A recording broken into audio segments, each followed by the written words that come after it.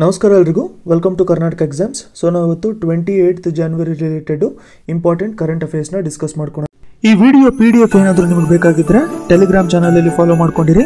ಹಾಗೂ ಡೈಲಿ ಅಪ್ಡೇಟ್ಸ್ಗೋಸ್ಕರ ನೀವು ಇನ್ಸ್ಟಾಗ್ರಾಮ್ ಪೇಜ್ನು ಕೂಡ ಫಾಲೋ ಮಾಡ್ಕೋಬೋದು. ಎರಡರದ್ದು ಲಿಂಕು ನಾನು ಡಿಸ್ಕ್ರಿಪ್ಷನಲ್ಲಿ ಪ್ರೊವೈಡ್ ಮಾಡ್ಕೊಂಡಿರ್ತೀನಿ.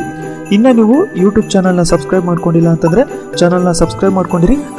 ಹಾಗೆ ಬೆಲ್ ಐಕನ್ನು ಕೂಡ ಪ್ರೆಸ್ ಮಾಡ್ಕೊಂಡಿರಿ ಅಂತಂದರೆ ನಾನು ಹೊಸ ವಿಡಿಯೋ ಹಾಕಿದ ತಕ್ಷಣ ನಿಮಗೆ ತಕ್ಷಣ ನೋಟಿಫಿಕೇಶನ್ ಬಂದ್ಬಿಟ್ಟಿರುತ್ತೆ.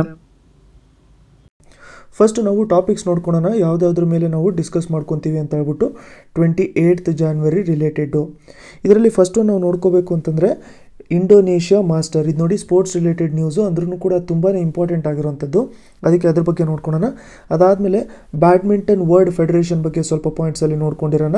ನಮಗೆ ಆರ್ಗನೈಸೇಷನ್ಸು ಅಥವಾ ಫೆಡರೇಷನ್ಸ್ ರಿಲೇಟೆಡ್ ಏನಾದ್ರು ಕೇಳ್ತಾ ಇದ್ದರೆ ಅವಾಗ ಇಂಪಾರ್ಟೆಂಟ್ ಆಗಿರುತ್ತೆ ನಮಗೆ.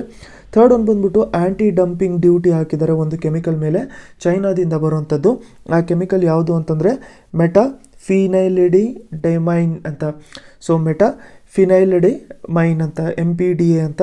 ಸೊ ಪ್ರೊನೌನ್ಸಿಯೇಷನ್ ಅಷ್ಟೊಂದು ಕರೆಕ್ಟಾಗಿ ಆಗ್ತಾಯಿಲ್ಲ ಫಿಫ್ತನ್ನು ನಾವು ನೋಡ್ಕೊಳ್ಳೋಣ ಗೌರ್ಮೆಂಟ್ ಪಾಲಿಸಿ ಯಾವ ಥರ ಇದೆ ಡ್ರಗ್ ಮೇಲೆ ಇವಾಗ ಚೇಂಜ್ ಆಗಿದೆ ಅವರ ಗೌರ್ಮೆಂಟಿನ ಪಾಲಿಸಿ ಯಾವ ಥರ ಇವಾಗ ಹೊಸದು ಪಾಲಿಸಿ ಇದೆ, ಏನು ಹೇಳ್ತಾ ಇದೆ ಡ್ರಗ್ ಮ್ಯಾನುಫ್ಯಾಕ್ಚರರ್ಸ್ ರಿಲೇಟೆಡು ಅಂತ ಹೇಳ್ಬಿಟ್ಟು ನೋಡ್ಕೊಳ್ಳೋಣ ಸಿಕ್ಸ್ತ್ ಒಂದು ಬಂದ್ಬಿಟ್ಟು renaming India's fastest train so ಇಂಡಿಯಾದು ಫಾಸ್ಟೆಸ್ಟ್ ಟ್ರೈನ್ ಯಾವುದು ಅಂತ ಕೇಳಿದ್ರೆ ಟ್ರೈನ್ ಏಯ್ಟೀನ್ ಅಥವಾ ಟಿ ಏಯ್ಟೀನ್ ಅಂತ ಹೇಳಿ ಕರಿತಿದ್ವಲ್ಲ.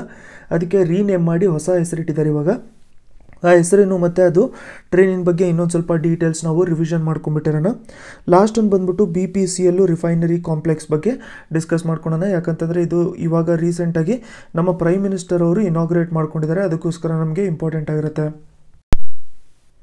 ಸೊ ಫಸ್ಟ್ ಒನ್ ನಾವು ಇಂಡೋನೇಷ್ಯಾ ಮಾಸ್ಟರ್ ಬಗ್ಗೆ ನೋಡ್ಕೊಳ್ಳೋಣ ಇದರಲ್ಲಿ ನೋಡಿ ಫೈನಲಲ್ಲಿ ಯಾರ್ಯಾರು ಹೋಗಿದ್ರು ಅನ್ನೋದು ಇಂಪಾರ್ಟೆಂಟು ಫೈನಲಲ್ಲಿ ಏನಾಗಿತ್ತು ಅಂತಂದರೆ Saina Nehwal versus Carolina Marin ಆಡೋಕ್ಕಿತ್ತು finals ಆಯಿತಾ ಸೊ, ಸೈನಾ ನೆಹ್ವಾಲ್ ನಮಗೆ ಗೊತ್ತಲ್ವಾ? So, Indian Saina Nehwal. Carolina ಮರೀನವ್ರು ಯಾವ ದೇಶದವರು ಅಂತ ಕೇಳಿದ್ರೆ, ಕ್ಯಾರೋಲಿನಾ ಮರೀನವ್ರು ನೋಡಿ ಸ್ಪೇನ್ ಅವರು ನಿಮಗೆ ಪಿ ವಿ ಸಿಂಧು ನೆನಪಿರ್ಬೇಕಲ್ವಾ? ಇವಾಗಲೇ ಪಿ ವಿ ಸಿಂಧು ಅವರು ಒಲಿಂಪಿಕ್ಸಲ್ಲಿ ಸಿಲ್ವರ್ ಮೆಡಲು ವಿನ್ ಆಗಿದ್ದರು ಸೊ ಸಿಲ್ವರ್ ಮೆಡಲ್ ವಿನ್ ಆಗಿದ್ದರು ಅವರು ಯಾರು ಅಗೇನ್ಸ್ಟು ಸೋತು ಸಿಲ್ವರ್ ಮೆಡಲ್ ವಿನ್ ಆಗಿದ್ರು ಅಂತಂದರೆ ಕ್ಯಾರೋಲಿನಾ ಮರೀನ್ ಅಗೇನ್ಸ್ಟೇ ಸೋತ್ಬಿಟ್ಟು ಅವರು ಸಿಲ್ವರ್ ಮೆಡಲ್ ವಿನ್ ಆಗಿದ್ರು ಒಲಿಂಪಿಕ್ಸಲ್ಲಿ ಸೊ ಆ ಟೈಮಲ್ಲಿ ಕ್ಯಾರೋಲಿನಾ ಮರೀನ್ ಅವರು ಗೋಲ್ಡ್ ವಿನ್ ಆಗಿದ್ದರು ಸೊ ಈ ಟೈಮ್ ಏನಾಗಿತ್ತು ಅಂತಂದರೆ ಇದು ಇಂಡೋನೇಷ್ಯಾ ಮಾಸ್ಟರ್ಸ್ ಫೈನಲ್ಸಲ್ಲಿ ಸೈನಾ ನೆಹ್ವಾಲ್ ಮತ್ತು ಕ್ಯಾರೋಲಿನಾ ಮರೀನು ಆಡೋರಿದ್ರು. ಬಟ್ ಕ್ಯಾರೋಲಿನಾ ಮರೀನ್ ಅವ್ರಿಗೆ ಏನಾಗಿತ್ತು ಅಂತಂದ್ರೆ ಇಂಜುರಿ ಆಗಿರೋದ್ರಿಂದ ಅವರು ವಿಡ್ರಾ ಮಾಡ್ಕೊಂಬಿಟ್ರು ಗೇಮಿಂದನೇ ವಿಡ್ರಾ ಮಾಡ್ಕೊಂಬಿಟ್ರು ಸೊ ಅವರು ಲೀಡಿಂಗಲ್ಲಿದ್ದರು ಅಂದ್ರೂ ಕೂಡ ಅವರು ವಿಡ್ರಾ ಮಾಡ್ಕೊಂಬಿಟ್ರು ಅದಕ್ಕೆ Saina Nehwal Indonesia Masters win ಆಗಿದ್ದಾರೆ. ಆದರೆ ಸೈನಾ ನೆಹ್ವಾಲ್ ಏನು ಹೇಳಿದರು ಅಂತಂದರೆ ನಿಮಗೆ ಗೊತ್ತಿರಬೇಕು ಇವಾಗಲೇ ಹೋದ ವರ್ಷ ಡಿಸೆಂಬರಲ್ಲಿ ಏನಾಗಿತ್ತು ಅಂತಂದರೆ ಟ್ವೆಂಟಿ ಸೆವೆಂಟೀನ್ ಡಿಸೆಂಬರ್ ಟೈಮಲ್ಲಿ ಏನಾಗಿತ್ತು ಅಂತಂದರೆ ಸೈನಾ ನೆಹ್ವಾಲ್ ಅವ್ರಿಗೂ ಕೂಡ ಒಂದು ಮೇಜರ್ ಇಂಜುರಿ ಆಗಿತ್ತು. ಅವರು ಕೂಡ ಆ ಟೈಮಲ್ಲಿ ಸಫರ್ ಪಡ್ತಾಯಿದ್ರು ಅದಕ್ಕೋಸ್ಕರ ಸೈನಾ ನೆಹ್ವಾಲ್ ಏನು ಹೇಳ್ತಾ ಇದ್ರು ಅಂತಂದರೆ, ನೋಡಿ ಕ್ಯಾರೋಲಿನಾ ಮರೀನ್ ಅಗೇನ್ಸ್ಟು ಈ ಥರ ವಿನ್ ಆಗೋಕ್ಕೆ ನನಗೆ ಇಷ್ಟ ಇರಲಿಲ್ಲ. ನಾನು ಒಂದು ಟಫ್ ಕಾಂಪಿಟೇಷನ್ ಕೊಟ್ಬಿಟ್ಟು ವಿನ್ ಆಗಬೇಕು ಅಂತ ಇತ್ತು ಅಂತ ಹೇಳ್ಬಿಟ್ಟು ಹೇಳಿದರು. ಸೊ ಅದಕ್ಕೋಸ್ಕರ ಈ ಥರ ವಿಡ್ರೋವಲಿಂದ ವಿನ್ ಆಗಿರೋದ್ರಿಂದ ಸೈನಾ ನೆಹ್ವಾಲು ಈ ಇಂಡೋನೇಷ್ಯಾ ಮಾಸ್ಟರ್ಸ್ ಬಗ್ಗೆ ನೆನ್ಪಿಟ್ಕೊಂಡಿರಿ ನೀವು. ಸೊ ಇದು ನೋಡಿ, ಇದು ಇವ್ರದ್ದು first B W F title ಆಗಿದೆ. ಎರಡು ವರ್ಷದಲ್ಲಿ ಅಂತ ಹೇಳ್ಬಿಟ್ಟು ಹೇಳ್ತಾ ಇದ್ದಾರೆ. ನೋಡಿ ಬಿ ಡಬ್ಲ್ಯೂ ಎಫ್ ಅಂತಂದರೆ ಬ್ಯಾಡ್ಮಿಂಟನ್ ವರ್ಲ್ಡ್ ಫೆಡರೇಷನ್ ಇದ್ರ ಬಗ್ಗೆ ಮೋಸ್ಟ್ ಇಂಪಾರ್ಟೆಂಟ್ ಪಾಯಿಂಟ್ ಏನು ಅಂತಂದರೆ, ಈ ಬ್ಯಾಡ್ಮಿಂಟನ್ ವರ್ಲ್ಡ್ ಫೆಡರೇಷನಲ್ಲಿ ಏನು ಪ್ರೈಸ್ ಮನಿ ಕೊಟ್ಟಿರಲ್ಲ, ಇದೇ ಮೋಸ್ಟ್ ಇಂಪಾರ್ಟೆಂಟ್ ಪಾಯಿಂಟು ಆದರೆ ಬ್ಯಾಡ್ಮಿಂಟನ್ ವರ್ಲ್ಡ್ ಫೆಡರೇಷನ್ ಏನು ನಡೆಸ್ತಾರಲ್ಲ, ಅದರಲ್ಲಿ ಪಾಯಿಂಟ್ಸು ತುಂಬ ಜಾಸ್ತಿ ಕೊಡ್ತಾರೆ. ಸೊ ಪಾಯಿಂಟ್ಸು ತುಂಬ ಜಾಸ್ತಿ ಕೊಡೋದ್ರಿಂದ ಇದನ್ನು ಒಲಿಂಪಿಕ್ಸ್ ಜೊತೆ ಸೇರಿಸ್ಕೊಂಡ್ರೆ ನಮಗೆ ಚ ವರ್ಲ್ಡ್ ಚಾಂಪಿಯನ್ಶಿಪ್ ಆಗೋದಕ್ಕೆ ಇದು ಹೆಲ್ಪ್ಫುಲ್ ಆಗಿರುತ್ತೆ. ಇದನ್ನು ನೋಡಿ ಮುಂಚೆ ಬಂದ್ಬಿಟ್ಟು ಮೂರು ವರ್ಷಕ್ಕೆ ಒಂದು ಸರಿ ಕಂಡಕ್ಟ್ ಮಾಡ್ತಾಯಿದ್ರು ಇದನ್ನು. ನೈನ್ಟೀನ್ ಸೆವೆಂಟಿ ಸೆವೆನಲ್ಲಿ ಸ್ಟಾರ್ಟ್ ಆಗಿತ್ತಿದ್ದು ಅವಾಗ ಬರೀ ಮೂರು ವರ್ಷಕ್ಕೆ ಒಂದು ಸರಿ ಕಂಡಕ್ಟ್ ಮಾಡ್ತಾಯಿದ್ರು ನೈನ್ಟೀನ್ ಏಯ್ಟಿ ತ್ರೀವರೆಗೂ ನೈನ್ಟೀನ್ ಏಯ್ಟಿ ತ್ರೀ ಆದಮೇಲೆ ಎರಡು ವರ್ಷ ಕಂಡಕ್ಟ್ ಮಾಡಿರಲಿಲ್ಲ. ಅದಾದಮೇಲೆ ನೈನ್ಟೀನ್ ಏಯ್ಟಿ ಫೈಯಿಂದ ಹಿಡಿದ್ಬಿಟ್ಟು ಟೂ ತೌಸಂಡ್ ಸಿಕ್ಸ್ವರೆಗೂ ಎರಡು ವರ್ಷಕ್ಕೊಂದ್ಸರಿ ಕಂಡಕ್ಟ್ ಮಾಡ್ತಾಯಿದ್ರು ಅಂತಂದರೆ ಬೈನಿಯಲ್ ಆಗಿತ್ತಿದ್ದು ಅಂತಂದರೆ ಎರಡು ವರ್ಷಕ್ಕೊಂದ್ಸರಿ ಕಂಡಕ್ಟ್ ಮಾಡ್ತಿದ್ರು ಅಂತ. ಆದರೆ ಟೂ ತೌಸಂಡ್ ಸಿಕ್ಸಿಂದ ಇವಾಗವರೆಗೂ ಕೂಡ ಪ್ರತಿ ವರ್ಷವೂ ಕೂಡ ಇದನ್ನು ಕಂಡಕ್ಟ್ ಮಾಡ್ತಾ ಇದ್ದಾರೆ ಸೊ ಬ್ಯಾಡ್ಮಿಂಟನ್ ವರ್ಲ್ಡ್ ಫೆಡರೇಷನ್ ಬಗ್ಗೆ ನೀವು ನೆನ್ಪಿಟ್ಕೊಂಡಿರಿ. ನೆಕ್ಸ್ಟ್ ನಾವು anti dumping duty on chemicals from China ಯಾವ ಕೆಮಿಕಲ್ ಅದು ಅಂತಂದರೆ M P D A meta phenylenediamine ಅಂತ. ಸೊ ಮೆಟಾಫಿನೈಲಿಡಮೈನ್ ಅಂತ ಈ ಕೆಮಿಕಲ್ನ ನೋಡಿ ಚೈನಾದಿಂದ ನಾವೇನು ಇಂಪೋರ್ಟ್ ಮಾಡ್ಕೊತಿದ್ವಲ್ಲ, ಅದ್ರ ಮೇಲೆ ಇವಾಗ ಆ್ಯಂಟಿ ಡಂಪಿಂಗ್ ಡ್ಯೂಟಿ ಹಾಕ್ಬಿಟ್ಟಿದ್ದಾರೆ. ಅಂತಂದರೆ ಅದನ್ನು ಏನಾದ್ರು ಇವಾಗ ರಿಸೀವ್ ಮಾಡ್ಕೋಬೇಕು ಅಂತಂದರೆ ಸ್ವಲ್ಪ ಜಾಸ್ತಿ ಪೇ ಮಾಡಬೇಕಾಗತ್ತೆ ಅಂತ. ನೋಡಿ, ಇದನ್ನು ಯಾವುದಕ್ಕೆ ಯೂಸ್ ಮಾಡ್ಕೊತಾರೆ ಅಂತಂದರೆ ಫೋಟೋಗ್ರಫಿಯಲ್ಲಿ ಯೂಸ್ ಮಾಡ್ಕೊತಾರೆ, ಮತ್ತು ಕಲರ್ಸ್ನ ಮ್ಯಾನುಫ್ಯಾಕ್ಚರ್ ಮಾಡೋದ್ರಲ್ಲೂ ಕೂಡ ಇದನ್ನು ಯೂಸ್ ಮಾಡ್ಕೊತಾ ಇರ್ತಾರೆ. ಇದರಲ್ಲಿ ನೋಡಿ ಟ್ವೆಂಟಿ ಫೋರ್ಟೀನಲ್ಲೇ ಇದ್ರ ಮೇಲೆ ಆ್ಯಂಟಿ ಡಂಪಿಂಗ್ ಡ್ಯೂಟಿನ ಹಾಕಿದ್ರು ಐದು ವರ್ಷಕ್ಕೋಸ್ಕರ ಇರ್ತಿತ್ತದು. ಸೊ ಟ್ವೆಂಟಿ ಫೋರ್ಟೀನಿಂದ ಐದು ವರ್ಷ ಅಂತಂದರೆ ಟ್ವೆಂಟಿ ನೈನ್ಟೀನ್ವರೆಗೂ ಅಂತಂದರೆ ಮಾರ್ಚ್ ಟ್ವೆಂಟಿ ನೈನ್ಟೀನ್ವರೆಗೂ ಈ ಆ್ಯಂಟಿ ಡಂಪಿಂಗ್ ಡ್ಯೂಟಿ ಹಾಕಿದ್ದಿದ್ರು. ಬಟ್ ಇವಾಗ ಏನು ಮಾಡಿದ್ದಾರೆ ಅಂತಂದರೆ ಇನ್ನೂ ಐದು ವರ್ಷಕ್ಕೆ ಅದನ್ನು ಎಕ್ಸ್ಟೆಂಡ್ ಮಾಡಿದ್ದಾರೆ. ಸೊ ಇನ್ನು ನೆಕ್ಸ್ಟ್ ಐದು ವರ್ಷದವರೆಗೂ ಕೂಡ ಅದು ಇರುತ್ತೆ. ಯಾಕೆ ಈ ಥರ ಮಾಡಿದ್ದಾರೆ ಅಂತಂದರೆ ನೋಡಿ ಇಂಡಿಯಾದಲ್ಲಿ ಮ್ಯಾನುಫ್ಯಾಕ್ಚರ್ ಮಾಡ್ತಾರಲ್ಲ ಸೊ ಇದು ಎಂ ಪಿ ಡಿ ಎ ಇಂಡಿಯಾದಲ್ಲಿ ಮ್ಯಾನುಫ್ಯಾಕ್ಚರ್ ಮಾಡೋರಿಗೆ ಹರ್ಟ್ ಆಗಬಾರ್ದು.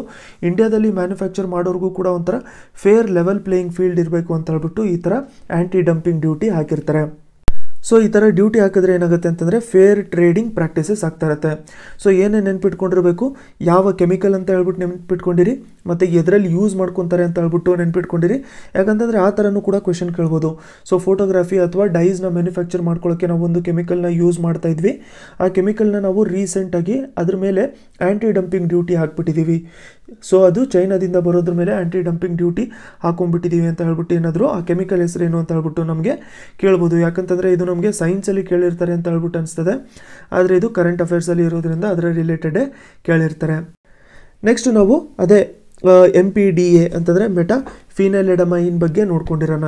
ಇದು ನೋಡಿ ಕೆಮಿಕಲ್ ಇಂಟರ್ಮಿಡಿಯೇಟು ಮ್ಯಾನುಫ್ಯಾಕ್ಚರ್ ಮಾಡೋಕ್ಕೆ, ಡೈಸ್ನ ಮ್ಯಾನುಫ್ಯಾಕ್ಚರ್ ಮಾಡ್ಕೊಳ್ಳೋಕ್ಕೆ ಮತ್ತು ಇಂಜಿನಿಯರಿಂಗ್ ಪಾಲಿ ಪಾಲಿಮರ್ಸ್ನ ಮ್ಯಾನುಫ್ಯಾಕ್ಚರ್ ಮಾಡ್ಕೊಳ್ಳೋಕ್ಕೆ ಮತ್ತು ಅದನ್ನು ಫೋಟೋಗ್ರಫಿ ಮತ್ತು ಮೆಡಿಕಲ್ ಅಪ್ಲಿಕೇಶನ್ಸಲ್ಲೂ ಕೂಡ ಅದನ್ನು ಯೂಸ್ ಮಾಡ್ಕೊಂಡಿರ್ತಾರೆ.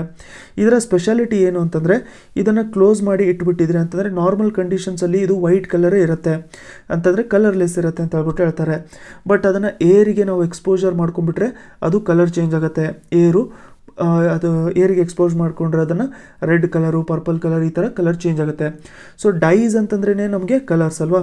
ಸೊ ಅದಕ್ಕೆ ಕಲರ್ಸ್ ಮಾಡೋದ್ರಲ್ಲಿ ಇದು ಹೆಲ್ಪ್ಫುಲ್ ಆಗಿರುತ್ತೆ. ನೆಕ್ಸ್ಟ್ ನಾವು ಗೌರ್ಮೆಂಟ್ ಇವಾಗ ಹೊಸ ಪ್ರಪೋಸಲ್ ತೊಗೊಂಬಂದಿದೆ ಮ್ಯಾನುಫ್ಯಾಕ್ಚರ್ ಮಾಡೋಗೋಸ್ಕರ ಡ್ರಗ್ನ ಮ್ಯಾನುಫ್ಯಾಕ್ಚರರ್ಸ್ ಅವ್ರಿಗೋಸ್ಕರ ಒಂದು ಹೊಸದು ಪ್ರಪೋಸಲ್ನ ತೊಗೊಂಬಂದಿದೆ ಇದ್ರ ಬಗ್ಗೆ ನಾವು ಸ್ವಲ್ಪ ನೋಡ್ಕೊಂಡಿರೋಣ. ಇವಾಗ ನೋಡಿ, ಇವಾಗ ಯಾವುದರ ಒಂದು ಮೆಡಿಸಿನ್ನು ಅಥವಾ ಏನೋ ಒಂದು ಟಾನಿಕ್ ಮ್ಯಾನುಫ್ಯಾಕ್ಚರ್ ಮಾಡ್ಕೊಂಡಿದ್ದಾರೆ ಅಂತ ಅಂದ್ಕೊಂಡಿರಿ ಸೊ ಟಾನಿಕ್ ಮ್ಯಾನುಫ್ಯಾಕ್ಚರ್ ಮಾಡ್ಕೊಂಡಿದ್ದಾರೆ. ಅದನ್ನು ಒಂದೊಂದು ಬಾಕ್ಸಲ್ಲಿ ಕಳಿಸ್ತಾ ಇರ್ತಾರೆ. ಸೊ ಒಂದು ಬಾಕ್ಸಲ್ಲಿ ಒಂದೇ ಟ್ಯಾನಿಕ್ ಕಳ್ಸೋಕ್ಕಾಗತ್ತಾ? ಎಲ್ಲರೂ ಶಿಪ್ಮೆಂಟ್ ಮಾಡೋಕ್ಕೆ ಆಗಲ್ಲ. ಸೊ ಹತ್ತು ಸಾವಿರದಿಂದ ಒಂದು ಲಕ್ಷದವರೆಗೂ ಕೂಡ ಇದರಲ್ಲಿ ಟಾನಿಕ್ಸ್ ಅಥವಾ ಟ್ಯಾಬ್ಲೆಟ್ಸು ಇರುತ್ತೆ. ಮುಂಚೆ ಯಾವ ಥರ ಆಗಿತ್ತು ಅಂತಂದರೆ ಇವಾಗ ಇದ್ರ ಮೇಲೆ ಇನ್ಸ್ಪೆಕ್ಷನ್ ನಡೆಸ್ತಾ ಇದ್ದಾರೆ ಅಂತ ಅಂದ್ಕೊಂಡಿರಿ ಓಕೆ ಇದೊಂದು ಶಿಪ್ಮೆಂಟ್ ಇದೆ. ಸೊ ಈ ಶಿಪ್ಮೆಂಟ್ನ ಏನು ಮಾಡ್ತಾರೆ ಅಂತಂದರೆ ಡ್ರಗ್ ಇನ್ಸ್ಪೆಕ್ಟರ್ಸ್ ಇರ್ತಾರಲ್ಲ ಸೊ ಅವ್ರು ಏನು ಮಾಡ್ತಾರೆ ಅಂತಂದರೆ ಇದರಲ್ಲಿ ವೆರಿಫಿಕೇಷನ್ ಮಾಡ್ಕೊತಾರೆ. ಸೊ ಇದರದ್ದು ಕ್ವಾಲಿಟಿ ಯಾವ ಥರ ಇದೆ ಸ್ಟ್ಯಾಂಡರ್ಡ್ ಪ್ರಕಾರ ಇದೆಯೋ ಇಲ್ವೋ ಅಂತ ಹೇಳ್ಬಿಟ್ಟು ಅದನ್ನು ವೆರಿಫೈ ಮಾಡ್ಕೊತಾ ಇರ್ತಾರೆ. ಸೊ ವೆರಿಫೈ ಮಾಡ್ಕೊತಾ ಇರಬೇಕಾದ್ರೆ ಅದ್ರ ಮೇಲೆ ಏನಾದ್ರು ಇರಬೇಕಾಗಿರುವಂಥದ್ದು ಸ್ಟ್ಯಾಂಡರ್ಡ್ಸ್ ಪ್ರಕಾರ ಏನಾದ್ರು ಇರಲಿಲ್ಲ ಅಂತಂದರೆ ಏನು ಮಾಡ್ತಾರೆ ಲೀಗಲ್ ಆ್ಯಕ್ಷನು ಇನಿಷಿಯೇಟ್ ಮಾಡ್ಕೊಂಡಿರ್ತಾರೆ. ಇದು ಮುಂಚೆ ಇರುವಂಥದ್ದು ರೂಲ್ಸು ಇವಾಗ ಚೇಂಜ್ ಏನು ಮಾಡಿದ್ದಾರೆ ಅಂತಂದರೆ, ನೋಡಿ ಈ ಥರ ಅಕಸ್ಮಾತ್ ಏನಾದರೂ ಡ್ರಗ್ ಇನ್ಸ್ಪೆಕ್ಟರ್ಸು ಈ ಥರ ನೋಡಿದಾಗ ಲೀಕೇಜ್ ಆಗಿತ್ತು. ಯಾವುದೋ ಒಂದು ಮೆಡಿಸಿನ್ ಏನಾದರೂ ಲೀಕೇಜ್ ಆಗಿತ್ತು, ಅಥವಾ ಡ್ಯಾಮೇಜ್ ಆಗಿತ್ತು, ಅಥವಾ ಬ್ರೇಕ್ ಆಗಿತ್ತು ಅಂತಂದರೆ ಏನು ಮಾಡ್ತಾರೆ, ಈ ಕಂಪ್ಲೀಟ್ ಬಾಕ್ಸಲ್ಲಿ ಇರುವಂಥದ್ದು ಏನೇನು ಮೆಡಿಸಿನ್ಸ್ ಅಥವಾ ಡ್ರಗ್ಸ್ ಏನಿರುತ್ತಲ್ಲ, ಒಂದೇ ಮೆಡಿಸಿನ್ನು ಈ ಥರ ಲೀಕೇಜ್ ಆಗಿರಲಿ ಡ್ಯಾಮೇಜ್ ಆಗಿರಲಿ, ಅಥವಾ ಬ್ರೇಕ್ ಆಗಿರಲಿ, ಒಂದೇ ಮೆಡಿಸಿನ್ ಆಗಿ ಥರ ಆಗಿದ್ರೂ ಕೂಡ ಕಂಪ್ಲೀಟ್ ಈ ಬಾಕ್ಸಲ್ಲಿ ಎಷ್ಟು ಡ್ರಗ್ಸ್ ಇದ್ದಾವೆ ಅದರದ್ದು ಎಂ ಆರ್ ಪಿ ಏನಿದೆಯಲ್ಲ, ಅದ್ರ ಮೇಲೇ ಫೈನ್ ಹಾಕ್ತಾ ಇರ್ತಾರೆ.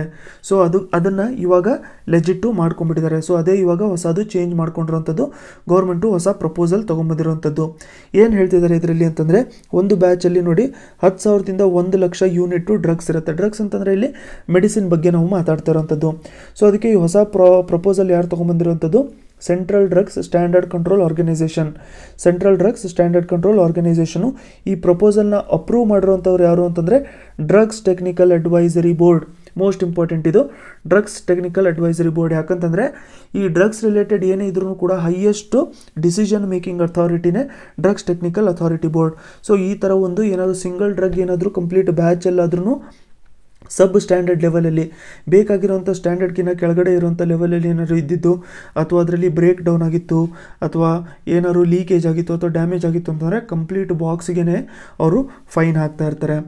ಸೊ ನೋಡಿ ಇಂಡಿಯಾದು ಫಾಸ್ಟೆಸ್ಟ್ ಟ್ರೈನ್ ಬಗ್ಗೆ ಇವಾಗ ನಾವು ನೋಡ್ಕೊಂಡಿರೋಣ. ಇಂಡಿಯಾದು ಫಾಸ್ಟೆಸ್ಟ್ ಟ್ರೈನ್ ಯಾವುದು ಅಂತಂದರೆ ಟ್ರೈನ್ ಏಯ್ಟೀನ್ ಅಥವಾ ಟಿ ಏಯ್ಟೀನ್ ಅಂತ ನಾವು ಡಿಸ್ಕಸ್ ಮಾಡ್ಕೊಂಡಿದ್ವಿ. ಇದನ್ನು ನೋಡಿ ಇಂಡಿಯಾದು ಇಂಜಿನ್ಲೆಸ್ ಟ್ರೈನ್ ಅಂತಲೂ ಕೂಡ ನಾವು ಕರಿತೀವಲ್ವಾ?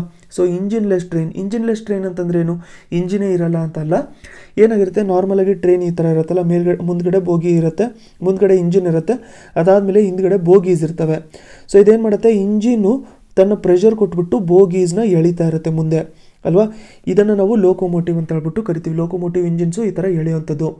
ಇಂಜಿನ್ಲೆಸ್ ಟ್ರೈನ್ ಅಂತಂದರೆ ಏನಾಗಿರುತ್ತೆ? ಕಂಪ್ಲೀಟಾಗಿ ಅದೇನಿರುತ್ತೆ ಅಂತಂದರೆ ಮುಂದೆ ಒಂದು ಕಂಪಾರ್ಟ್ಮೆಂಟಲ್ಲಿ ಡ್ರೈವರ್ ಇರ್ತಾರೆ, ಮತ್ತು ಹಿಂದ್ಗಡೆ ಎಲ್ಲ ಬೋಗೀಸ್ ಇರ್ತಾವಲ್ಲ ಕೋಚಸ್ ಏನು ಕರಿತೀವಿ? ಅದ್ರ ಒಳಗಡೆನೆ, ಅದ್ರ ಕೆಳಗಡೆನೆ ಸಪ್ ಸಪ್ರೇಟಾಗಿ ಇಂಜಿನ್ ಇರುತ್ತೆ. ಎಕ್ಸಾಂಪಲ್ ನಾವು ಮೆಟ್ರೋ ತೊಗೋಬೋದು. ಸೊ ಇವಾಗ ನಮ್ಮ ನಮ್ಮ ಮೆಟ್ರೋ ಇದೆಯಲ್ಲ ಆ ಥರ, ಅಥವಾ ಡೆಲ್ಲಿ ಮೆಟ್ರೋ, ಯಾವುದೇ ಮೆಟ್ರೋ ನಾವು ತೊಗೊಂಡ್ರೂ ಕೂಡ ಅದರಲ್ಲಿ ಏನಾಗಿರುತ್ತೆ, ಅದ್ರ ಕೆಳಗಡೆನೇ ಇಂಜಿನ್ ಇರುತ್ತೆ, ಪ್ರತಿಯೊಂದು ಬೋಗಿ ಕೆಳಗಡೆನೇ ಇಂಜಿನ್ ಇರುತ್ತೆ. ಅದಕ್ಕೆ ಅದನ್ನು ನಾವು ಇಂಜಿನ್ಲೆಸ್ ಟ್ರೈನ್ ಅಂತ ಹೇಳ್ಬಿಟ್ಟು ಕರಿತೀವಿ. ಇಂಜಿನ್ಲೆಸ್ ಅಂತಂದರೆ ಮುಂದ್ಗಡೆ ಇಂಜಿನ್ ಇಲ್ಲ, ಆ ಥರದ್ದು ಟ್ರೈನ್ ಅಂತ ಹೇಳ್ಬಿಟ್ಟು ಕರಿತೀವಿ. ಇದನ್ನು ನೋಡಿ ರಾಯಬರೇಲಿಯಲ್ಲಿ ಮ್ಯಾನುಫ್ಯಾಕ್ಚರ್ ಮಾಡ್ಕೊಂಡಿದ್ರು. ಎಲ್ಲಿ ಮಾಡರ್ನ್ ಕೋಚ್ ಫ್ಯಾಕ್ಟ್ರಿಯಲ್ಲಿ ಅದನ್ನು ಟೆಸ್ಟ್ ಮಾಡಿದಾಗ almost one sixty kilometre per ಅವರ್ವರೆಗೂ ಕೂಡ ಅದು ಟ್ರಾವೆಲ್ ಮಾಡ್ಕೊತು. ಸೊ ಇವಾಗ ಅದಕ್ಕೆ ರೀನೇಮ್ ಮಾಡಿ ಹೊಸ ಹೊಸ ಹೆಸರಿಟ್ಟಿದ್ದಾರೆ. ಆ ಹೊಸ ಹೆಸರೇನು ಅಂತಂದರೆ ಒಂದೇ ಭಾರತ್ ಎಕ್ಸ್ಪ್ರೆಸ್ ಅಂತ. ಸೊ ಹೊಸ ಹೆಸರೇನು ಒಂದೇ ಭಾರತ್ ಎಕ್ಸ್ಪ್ರೆಸ್ಸು ಸೊ ಇದನ್ನು ಇಂಡಿಜಿನಿಯಸ್ಲಿ ಬಿಲ್ಡ್ ಮಾಡಿರುವಂಥದ್ದು ಅಂತಂದರೆ ಇಂಡಿಯಾದಲ್ಲೇ ಇದರ ಕನ್ಸ್ಟ್ರಕ್ಷನ್ ನಡೆದಿರುವಂಥದ್ದು ಇದು ನೋಡಿ ಡೆಲ್ಲಿ ಮತ್ತು ವಾರಾಣಸಿ ಮಧ್ಯದಲ್ಲಿ ಟ್ರಾವೆಲ್ ಮಾಡ್ಕೊಳ್ಳುತ್ತೆ ಪ್ರತಿಯೊಂದು ಪಾಯಿಂಟು ಕೂಡ ಇದರಲ್ಲಿ ಇಂಪಾರ್ಟೆಂಟು ಒಂದೇ ಭಾರತ ಎಕ್ಸ್ಪ್ರೆಸ್ಸು, ಡೆಲ್ಲಿ ಮತ್ತು ವಾರಾಣಸಿ ಮಧ್ಯದಲ್ಲಿ ಟ್ರಾವೆಲ್ ಮಾಡುವಂಥದ್ದು. ಮಾಡರ್ನ್ ಕೋಚ್ ಫ್ಯಾಕ್ಟ್ರಿ ಎಲ್ಲಿದೆ ಇದು ಫಸ್ಟ್ ಲೋಕೋಮೋಟಿವ್ ಲೋಕೋಮೋಟಿವ್ಲೆಸ್ ಟ್ರೈನ್ ಅಂತ ಹೇಳ್ಬಿಟ್ಟು. ನೆಕ್ಸ್ಟ್ ನಾವು B P C L integrated refinery complex ಇದನ್ನು ಇನಾಗ್ರೇಟ್ ಮಾಡ್ಕೊಂಡಿದ್ದಾರೆ ನಮ್ಮ ಪ್ರೈಮ್ ಮಿನಿಸ್ಟರ್ ಅವರು. ಸೊ ಇದನ್ನು ಇನಾಗ್ರೇಟ್ ಮಾಡ್ಕೊಂಡಿದ್ದಾರೆ. ಇದು ನೋಡಿ ಇಂಡಿಯಾದು largest P S U refinery ಇದೆ. ಸೊ ಇದೇ ಇದರಲ್ಲಿ ಮೋಸ್ಟ್ ಇಂಪಾರ್ಟೆಂಟ್ ಪಾಯಿಂಟು ಇದರಲ್ಲಿ ಡಬಲ್ ಆಗುತ್ತೆ ಪ್ರೊಡಕ್ಷನು ಎಲ್ ಪಿ ಜಿ ಮತ್ತು ಡೀಸೆಲ್ದು ಅಂತ ಹೇಳ್ಬಿಟ್ಟು ಹೇಳ್ತಾ ಇದ್ದಾರೆ.